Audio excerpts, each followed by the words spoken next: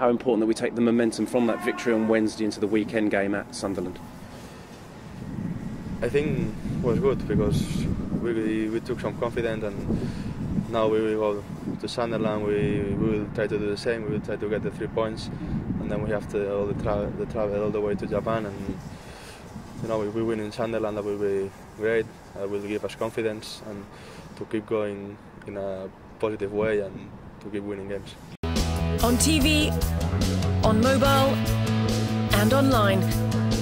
Chelsea TV, wherever you may be.